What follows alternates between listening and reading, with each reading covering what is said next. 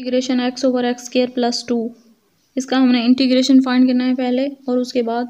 आ, इसकी limiting value दी हुई है अपर लिमिट और लोअर लिमिट फिर पुट करके इसे सोल्व करेंगे। इसकी लिमिटिंग वैल्यू देखते हैं क्या आती है। चेक करना होता है। X over X square plus two ये देखें ये नीचे फ़ंक्शन है और ऊपर फ़ंक्शन का डेरिवेटिव क्या होता है डेरिवेटिव टू एक्स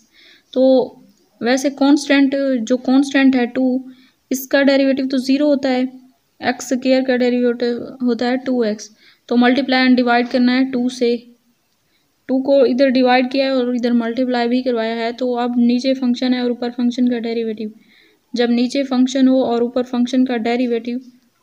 तो वो इक्वल होता है नेचुरल लॉग फ़ंक्शन के natural log F of X के। तो one by two natural log ये एक्स स्केयर प्लस टू ये अपर लिमिट है और ये लोअर लिमिट है। Upper limit to lower limit फिर upper limit minus lower limit put करेंगे। वन बाय टू तो होल का मतलब कॉमन लिया हुआ है हमने, सबके साथ मल्टीप्लाई हो रहा है तो वन बाय टू को बाहर ही रहने देंगे और पहले अपर लिमिट पुट करेंगे एक्स की जगह पे, टू का स्केयर प्लस टू और माइनस लोअर लिमिट क्या है वन वन का स्केयर प्लस टू ये थ्री आया two two the four four two six natural log six minus natural log three अब जब नेचुरल लॉग पहले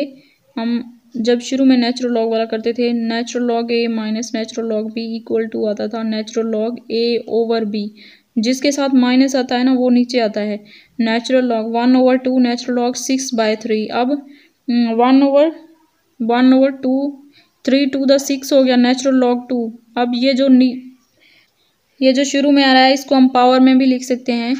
Natural log two under root two under one by two मतलब ये जो शुरू में आ रहा है, ये इसकी पावर में आ सकता है। तो टू की पावर वन बाय टू का मतलब होता है अंडर रूट टू तो natural log under root two question solve